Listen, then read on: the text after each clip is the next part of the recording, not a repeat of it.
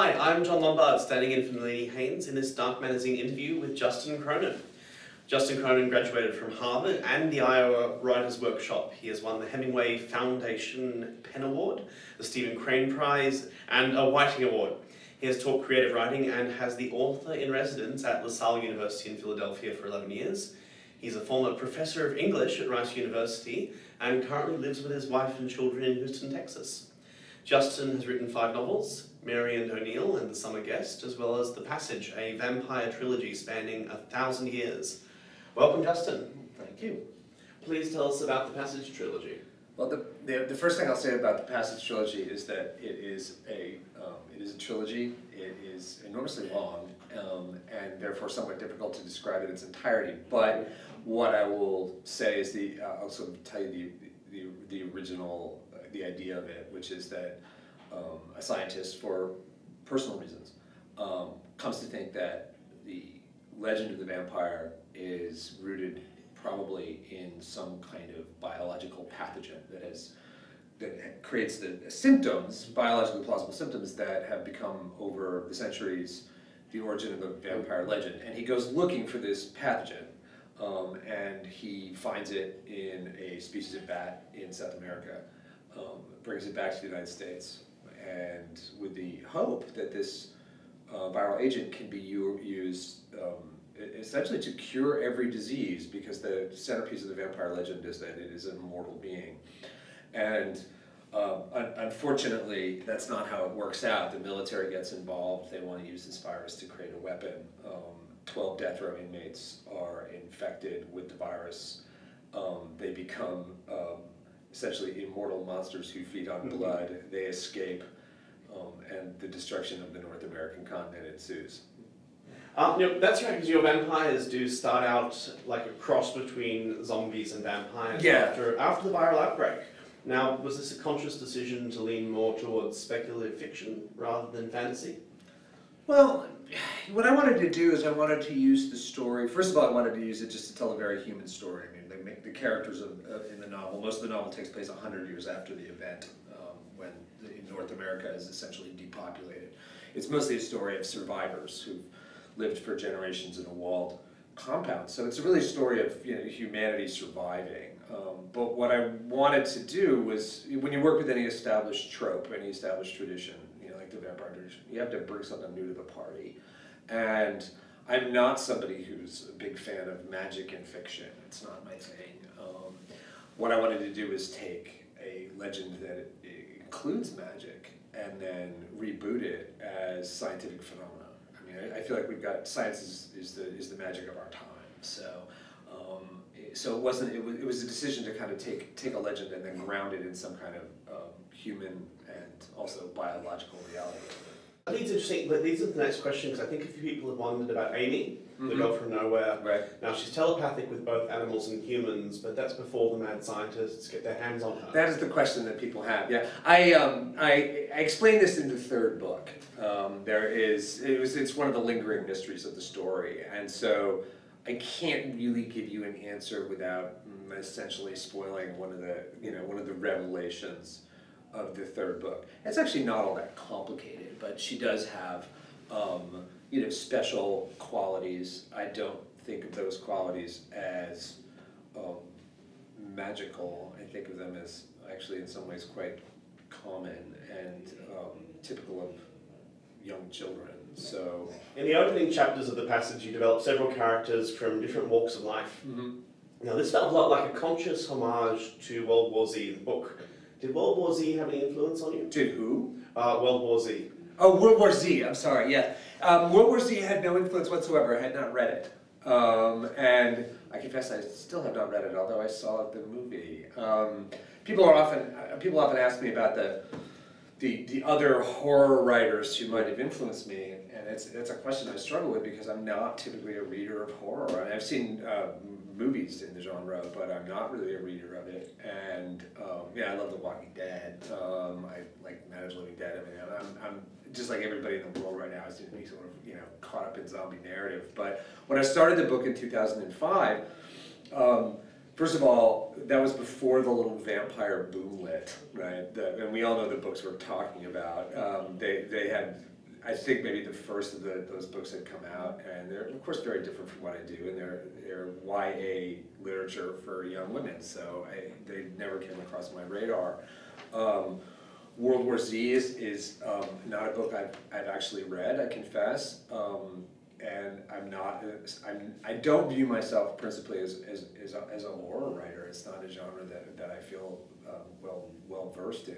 But like everybody, I know about, I know the stories, you know, I know the vampire. And on Halloween, at some point, I opened the front door of my house, and there's like a four foot tall vampire standing there asking for candy. And it's a ubiquitous story. We all have our um, experiences of it.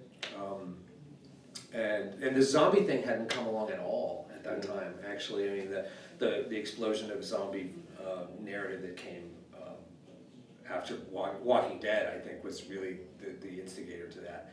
So all that stuff wasn't on my radar. When people say, "Who's your favorite horror writer?" I always say Edgar Allan Poe. so as you might know, Booklist, um, when they read your the first novel in the Passage trilogy, they thought it was so similar to Stephen King in The Stand. Mm. They had to check to make sure that Stephen King hadn't actually written the book under a pseudonym, right. because that was their first thought. So King actually also blurbed your book, re right. recommending it to your fans. Right. So what was that like for you? Well, I mean, Stephen King is, is you know, he's a remarkable guy. I mean, he's, he's not really a writer, he's kind of a monument at this point because of the wide variety of genres he works in, the different kinds of books that he does. He's very good at the short story. He writes the novella wonderfully, which is a form that is, you know, it's 19th century German form for the most part. Um, and of course, he writes in all, all, kinds of different novels in different registers. Um, of course, I'd read The Stand. I confess i am I'm, I'm sometimes um, somewhat nonplussed by the book's comparison to The Stand. What they seem to have in common to me is simply that a lot of people suffer and die in North America. Beyond that, I don't see a very strong overlap in terms of plot, and there are there are many pandemic narratives out there. I mean, there, there was one that I that I was um, that was sort of formative for me as a young man, a book called Earth Abides by a writer named George Stewart. It was written in 1948. And if I had to give a book that was an influence on at least that aspect of the passage, that's the one that I would choose. Um, but of course, also getting Stephen King's blessing on these books is, is you know, it's phenomenal. And um, I, have never met him. I, know, I owe him a, a great debt of gratitude. I, I should stop by his house and do a few loads of laundry and leave. Oh, I think it might be the um, reading the stand because you draw, you have people from different sort of walks of life. So it's natural they come together. Mm-hmm. As, as, as they do in, in Earth Abides. I mean, it seems to me exactly a logical, right. it's a logical consequence yeah. of an event that mm. kills a lot of people, but not quite everybody. Is yeah. that the natural human urge to find the other survivors, to mm. organize your life in some way um, with, with, with companionship um, is natural. I mean, that's the mm. that, that's the basis of The Walking Dead, for instance. I mean, it's it's, it's, yeah. it's just woven into that kind of story, because any story about the end of the world really is not a story about the end of the world. It's what happens afterward, and uh, you know how the people who survived this event. Um, you know, manage manage to go on, and, and, and what happens to them as a as a consequence. Um, so uh, you know, the similarities to the stand, notwithstanding, I'd, I'd say that it's, it's, mm. that similarity is just endemic to the kind yeah. of story that it is. Mm. Um, that actually leads really nicely into the next question, and that's that the passage reads like social commentary in many places, mm-hmm. and there's references to the Manhattan Project, and the communities showcase all those really great social dynamics you were talking right. about. I think I remember like the one of the vampires is quite snobbish in his tastes because sure, not, yeah. not everyone necessarily appreciates the good culture that he thinks that they should. Mm-hmm. Um, so there's um, there's everything from caring each other to lynch mobs. Was that one of the things you were really interested in showing, having like the walled community? Sure. I mean, one of the things I wanted to do is if you know if you jump the story 100 years later and you've got survivors, you have to sit mm. down and think very carefully about what are the natural kinds of communities that would arise. In other words, who would survive and what forms of social organization would they employ that would enable their survival. So the community that the story starts with, the first one, first colony based, you know, located in the mountains of Southern California, um, actually it's based on a town where I, I spent a, a summer many, many years ago teaching a little arts academy. Um, that's a community that's settled by children, essentially, who were evacuees Um, and uh, they're, they're placed in this walled compound, and then the army never comes back. I mean, there are other people who are supposed to come, but they never do. And so they're not left entirely to their own devices. They, um, they have a certain number of minders, adults who work for FEMA, Federal Emergency Management Agency in the United States. Um, they form a social organization based familial relationships. It seems to make sense to them. It's what they know. It's what they have. It's who's related to whom. And so their form of government, as they grow older and replaced by other generations, is um, it's called the household, right? And so their principal avenue of survival, apart from the walls and the lights that defend them, is the fact that they are bonded through family relationships. So that it's essentially a kibbutz. I mean, like, that's, that's kind of what it is. Um, and, they, and it has a, a, socialist economy, for instance, something called equal share. Everybody gets an equal share of what they of the resources that they have. Um, the other community, and the one featured in the second book, is a police state. Hmm. Right? It's a police state. Um, you can see how uh, authoritarian rule would be another form with, with, within enslaved labor force would be another another form of government that would uh, arise naturally and indeed have some durability. Um, and the last one is the is uh, Texas, Kerrville, Texas, the Republic of Texas, which is uh, in some ways also a, an homage to the you know I don't say my home state. I'm not originally from Texas, but I've lived there for a very long time and I've raised my children there. Um, they live under something called the, the Code of Modified Martial Law, with a sort of power sharing between the civilian and military authorities, and they have more abundant resources than the other communities, and they also have a more distinct relationship to the past, right? The first colony, for instance, nobody even remembers the old world, but there's a mm. kind of continuum of time that exists in um, in Kerrville. So these seem to me to be forms of human organization that would naturally arise as a consequence of these events. If, in other words, if, if people are going to survive, who are they and how are they going to do it? And these seem to me to be kind of three formulas for that. Yeah, yeah, they don't go it alone. No, yeah. no, I mean, they, all, all the people who tried to go alone have died a long time yeah. ago, right? I mean, one of the theses of the trilogy and in its area of principal interest is, um, is that what survives are, um, for the most part, are fairly no, noble instincts and uh, the connections between people, especially when they're good, strong, firm, loving connections. Those are the qualities that enable survival in the face of, of disaster. That's something I found very interesting because when I was doing my research for this, um, you sometimes find in post-apocalyptic worlds, everything is so stuffed that you just wonder why anyone actually bothers like um, Snowpiercer, where humanity's just on a train that's circling the globe, and right. endless winter. Um, I did wonder that because things actually um, seemed so bleak in your series by the end, and the human race is sort of you know almost been harvested to the point of extinction. It's right. like why go on in that sort of circumstance? Right, and that's a good question. Yeah. yeah why go on? Like, what's yeah. what's the reason to go yeah. on? And all the characters are questioning that. Um, and the answer is, is, the reason to go on is the person who's sitting next to you. Yeah.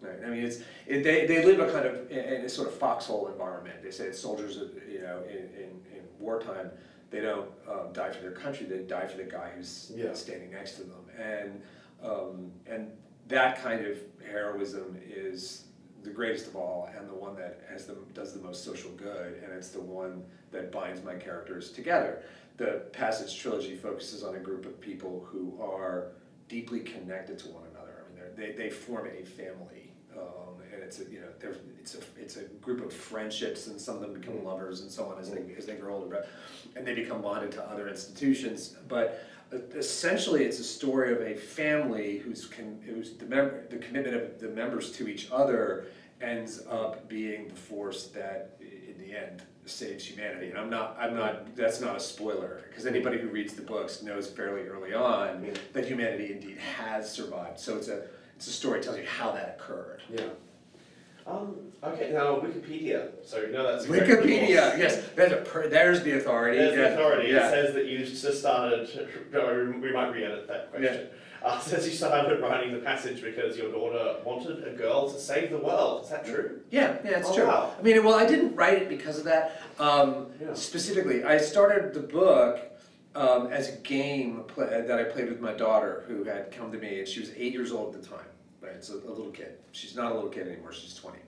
Um, but she came to me and expressed the concern that my other books um, based upon her readings of the flaps and her view of the covers, so it wasn't complete information.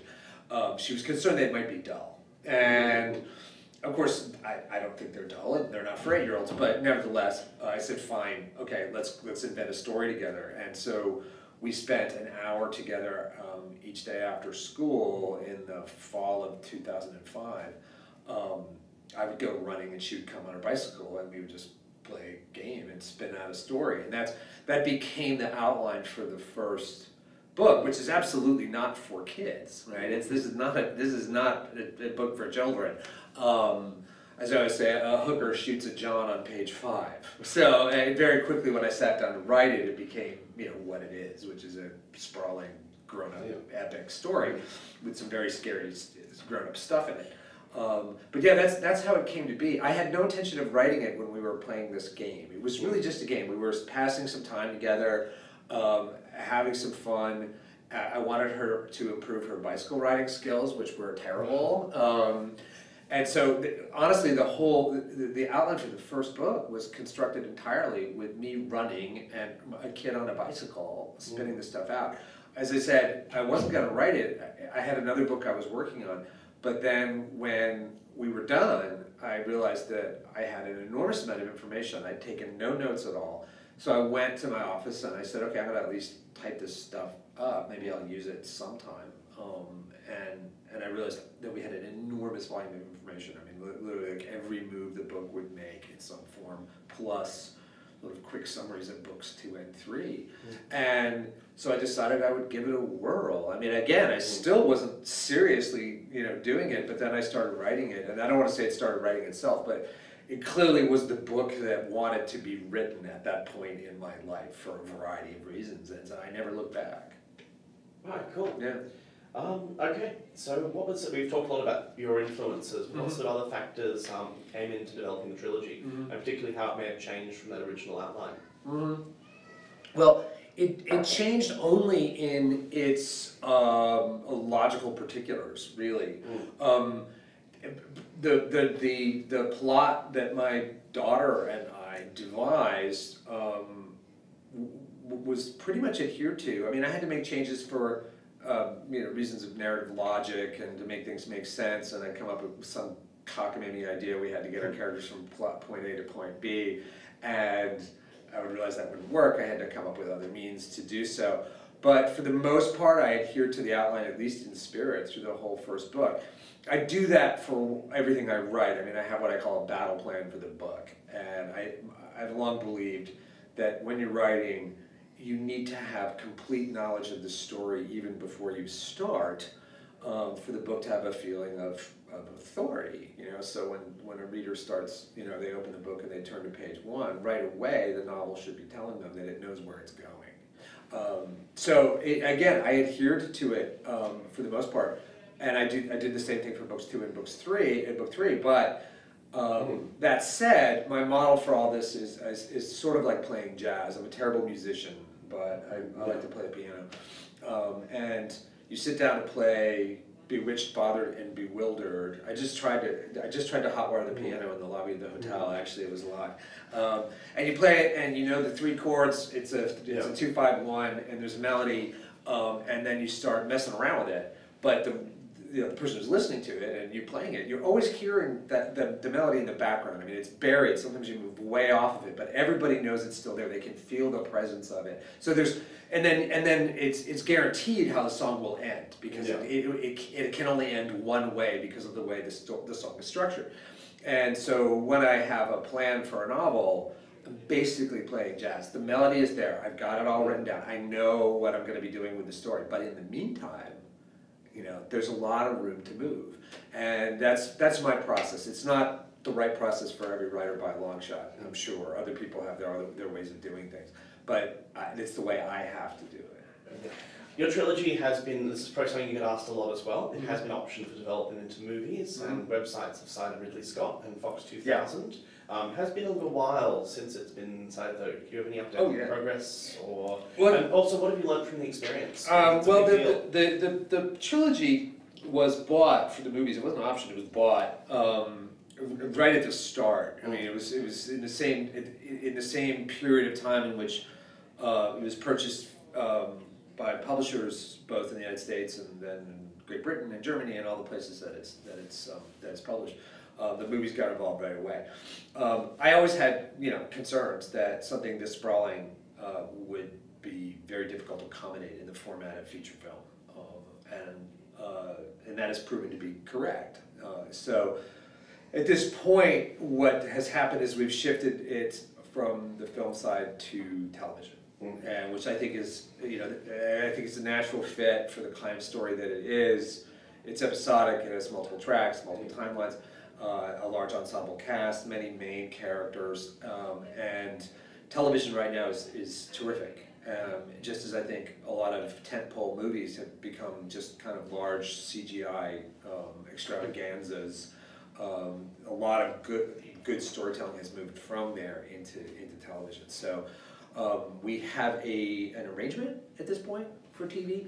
Um, you know, the ink's not completely dry, and I don't know what will come of it. I'm reasonably optimistic about it. Um, my involvement with it will, be um, something, but I, I can't say exactly. I'm not somebody who has personal ambitions to work in film and television.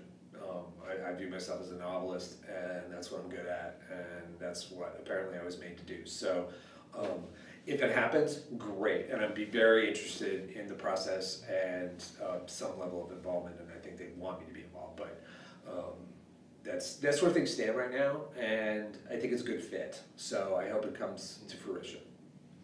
Okay, we're very, we've only got a couple of questions left, and there's Sure. a few general ones where you can talk about whatever you pretty much want to, which is always fun. Okay. Um, so what sort of authors, you've talked a bit about your own influences, you're not really a horror reader, um, but what sort of authors and stories do you enjoy? That's a good question because my reading is in some ways counterintuitive. Um, I um, I began as a literary writer, um, although I didn't begin as a literary reader because nobody does. You know, I, I, I grew up on a very heavy diet of science fiction and um, and genre fiction of, of many different kinds. My, my, my books all came from the used paperback book sale at my school. And so we're, you know, we're talking about the early and mid seventies. So, um, nice face there. Um, and so I would go and I would, I would, you know, for five bucks you get a grocery sack worth of books, and it would be the the big bestsellers of the day, right? It'd be Jaws and Day of the Jackal Yeah, yeah. and Roots and uh, all that stuff, right? And so I, I would read them indiscriminately, you know, it looked interesting and I'd read it, and if it continued to be interesting, I'd read the whole book. Um, eventually I became, you know, a college English major, I specialized in 20th century British literature, um, I became um, a college professor, or college English professor, so I have all those tastes. I began as a literary writer. My first two books are substantially quieter than the Passage trilogy.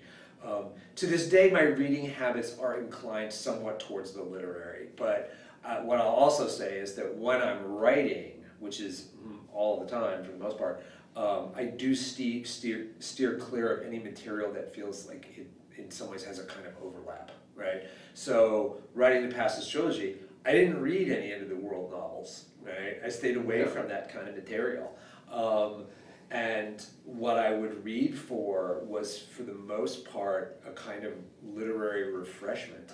Um, I would go and read a writer who wrote really great sentences, you know, because when you're, um, know, going to your office every day for six hours, what you're doing when you get up there is you're making a whole bunch of sentences, right? And there comes a time when you wake up and you say to yourself, I have no more sentences left. I've used all of my sentences, and so you gotta go go find you gotta go find a writer who will remind you of the infinite richness and variety of language, so that you can get your characters from here to there, and, and you know, and then have the more human moments, and you feel like you have more language once again at your disposal. So, a lot of the books I read are more literary. I often cite. Um, Ian McEwan as a writer that I really love, who I, I, I, relied on him a lot when I was writing a passage, uh, the third book. It was just that he was the writer that I went to for refreshment. It often involves rereading, you know. Um, you get through somebody's whole list and you say, every time I read this book, I feel more like writing, so I'm good. I'll just keep keep doing that. Um, on the other on the other side, though, um, right now I'm reading uh, the Expanse series of science fiction novels. Um, and I don't know if you're familiar with those, but they become a terrific television show in the United States on the Sci-Fi Network. And I, I, I came across it because of the TV show. I, not through my, my life as a writer or, or somebody working in the entertainment industry, I came across the, the show because I know, I met the guy who's the, the creator of the show. I met him at a friend's birthday party. And um, so I, I watched the show and I really liked it, and I watched it with my son, who's 13 years old. And um, we had been engaged in a project uh, over the course of the last year of, of um, my taking him to the sci-fi that I grew up on, right? Because I, I, you know, I just finally had sat through enough superhero movie, movies at the multiplex, and I said to him, "Great, I'll still go to these movies with you, but I want to, I want you to also to see the stuff that I grew up on, which didn't have all the special effects, um, which you know won't dazzle you with spectacle." Um, whether they're books or, or movies or television shows, but where, you know, in my opinion, it's really rooted in the character. So we did, for instance, we watched the original Star Trek, right? One episode per night, in order, all three seasons, right? And he loved it. It was fantastic. It was fantastic. So I introduced him to the Heinlein novels that I read as a kid, um, and uh, we watched um, the Aliens movies, right? Which he again loved, and you know, you look at them now, the special effects are, are you know, they're meager by comparison to what we watch now, but they're doled out in such a uh, such meticulous manner, and the stories are so good that it, it doesn't matter that you know really the alien whore is actually six French gymnasts in, in rubber suits, which which it is, right? Um, so anyway, we came across The Expanse and we watched the show together. I really liked it, and because I was going on extended book tours, this starting in the spring, and then he would be going to camp, summer camp, for one of the months when I was uh, actually available. I was going to see my son, my 13-year-old boy, who I adore. I was going to see him one month out of five Oh, right? Which is rough. Neither one of us was really happy about that. I said, okay, here's something we can do. Let's continue the dad son sci-fi club. We'll read all the Expanse novels, and then we can, you know, kind of keep in Yeah. touch and talk about them. So he's actually a little ahead, a little ahead of me. He's reading the the fourth one now, and I'm on the third. But they're a lot of fun. I really like them, and it's you know, it's it's it's sort of touching to me. I mean, I really like doing this with with my kid because you know you, you try to pass things down to your children in some way, and this is a you know one of the best parts of my boyhood was the the science fiction novels and movies and television shows, uh, such as they were that, that I had at that time. That's cool because that does lead us to because you've just you've been on an extensive tour, which Yeah. should be is finishing soon, I believe. Uh, well, I'm, I'm I'm going to Germany in November. Okay, so Um, not quite done yet. And, and I've got a lot of the foreign translations come out actually in the spring, so I, I don't know if I'll be uh, traveling uh, to, you know, France or whatever. Yeah. I mean, I, I've done touring in many different countries, um, so we'll, we'll see. Um, this book's a departure from obviously your, your first two. Yes. This trilogy's been an, a, a massive investment, a big departure. Mhm. What do you think might be next for you? I mean, return to sort of literary fiction? No, I'm, I'm, what I, here's the thing, I mean, people say like I wrote literary fiction and then I worked, it- I, I Yeah. did sort of genre. I mean, the- one of the things I'll say about genre is that everything's a genre, right? Um, e- every literary novel is, it falls into some subcategory, um, in which it is in, in, engaged with and connected to other similar books. I mean, the, the example I always give for this is my favorite current genre, which is male midlife crisis novels. Right? I mean, I'm a gentleman of a certain age, you know. So uh, if there's a good male midlife crisis novel out there, I am the first in line at the bookstore for it. Um, but these forms, whether it's you know uh, an apocalyptic novel or a western, I, I view the passage in some ways as more of a western than anything else. Um, whatever that, these are just ways of telling a story about people. So um, what I do intend to do though is to continue with the idea of a central concept that is um, one that I liked as a kid because I think that's naturally attractive. I, I really like doing that. I mean, the passage was a conversation with all the end of the world books I read as a kid. I was a Cold War kid. Those books were very important to me, and I wanted to write my own. There were other stories, types of stories that I loved as a kid too. So the next project is going to be once again, I think, a return to one of those stories. I can't tell you which right now because they're not even my agent knows. Um, but again, using it as a way of just you know telling a story about people because I think that's what that's what, that's at the, at the end of the day, what concerns me, you know, as an artist and as a person, and then what I think really connects people to stories. It is the characters at the end of the day. If a book's gotta have any kind of durability and really connect to people, so that when they look up having finished the book, they're kind of, they're drawn more deeply into life. You know, that's, that's how you do it. So I'm always gonna write that way, but I do like a strong, exciting plot. I, I like those kinds of engines where ordinary life is not ordinary anymore, Yeah. You know? I'll ask a follow-up on that. Um, is that it's interesting because when you started writing the book, it was before the vampire boom. Right, It was before the massive zombie boom. correct. Has it been interesting because you were dealing with a uh, mythos that you know you were dealing with all this sort of ancient lore Right. and ideas of vampires. Um, has it been interesting for you? Had to sort of change your game plan at all, responding to the popularity of these works? Or Um, that's, that is an interesting question, and the answer to that is no. I didn't change my game plan because I've never had a game plan that is in any way connected to the idea of the marketplace. Um, when I sit down and write a book, my goal and my method um, is to just write the best book I can. And I'm not a tactical thinker. I don't really think about the marketplace at all. The day that my agent, or the night before my agent sent out the manuscript of the passage, and it was a partial manuscript. We sold it when it had, when I'd written about a third of the book, um, with you know a, an outline and then summaries of book two and three. Um, my wife asked me, "What will you do if nobody publishes it?" And um, you know, the question which she was really asking was, "Will you finish it?" The answer to that was yes. Um, but I, I, I mentioned this just as a way of illustrating the fact that I had no idea if anybody would want it at all. Right? Um, it was different from what I'd done in the past. Um, I had no role models for it except for things that I read as a kid, and I was known for a certain kind of book. And publishing, generally speaking, wants you to write the same kind of book. They don't really, they don't like it when you jump the tracks. Um, and I honestly didn't know if anybody would buy it at all. I mean, I was doing the whole, I, I engaged in the whole thing because I liked it. Because I liked it. It was, I was, it had tapped into something in me as a, you know, as a person and as a, and as a writer that felt honest and true and engaging to me. So, um, subsequently, there was a lot of vampire narrative, um, television shows, movies, books, and then sometime a little bit after that, um, a bit of resurgent in the zombie thing. I, it, it, I don't want to say it happened off my radar because I really love The Walking Dead. You know, I love The Walking Dead, um, and uh, so I was I was aware that it was it was going on, but it didn't. I, I didn't. I, I didn't try to position myself anywhere within that as a context because it was meaningless to me as a context. I mean, my context was me alone in the room writing the books. The other thing I would say is that when people say like all of a sudden we love zombies and we love vampires, that's true, but these stories have never gone away. You know, I mean, I grew up on a steady diet of vampires and zombies and all that stuff. It, it's it, there. There may be periods of slight recession in these things, but for the most part, the monster economy is always pretty robust and.